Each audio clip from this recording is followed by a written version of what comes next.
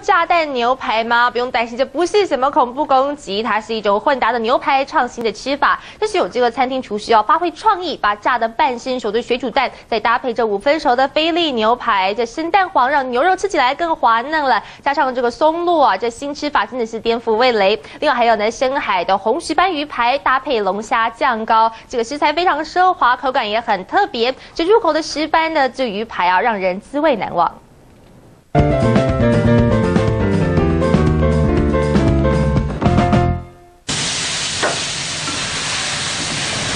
白兰地的深海红石斑，在红色火焰中煎到表皮酥脆，接着要连锅子一起送进烤箱。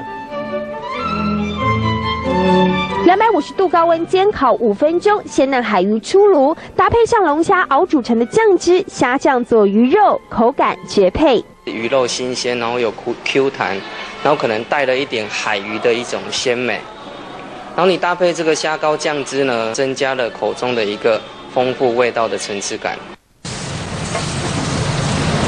特选的澳洲菲力牛放进煎盘，把火开到最大，瞬间锁住肉之后送进烤箱，高温煎烤到五分熟，肉嫩多汁，口感最好。牛排酱是蛋汁，外熟内鲜的水煮蛋放进热油炸到表皮变硬后，立刻起锅，炸蛋牛排再加上黑松露，重头戏登场。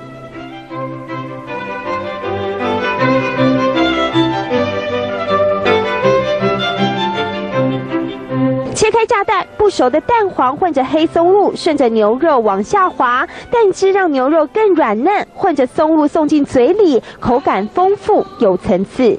一开始咬下去呢，应该是哎，感觉这块肉呢，嗯，怎么怎么这么滑嫩？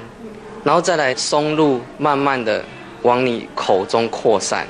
然后你就会觉得啊，这块肉怎么特别特别的香？牛排也走混搭风，炸过的半熟蛋和松露，竟然也能和牛肉擦出火花。中天新闻前线一包经营，高雄报道。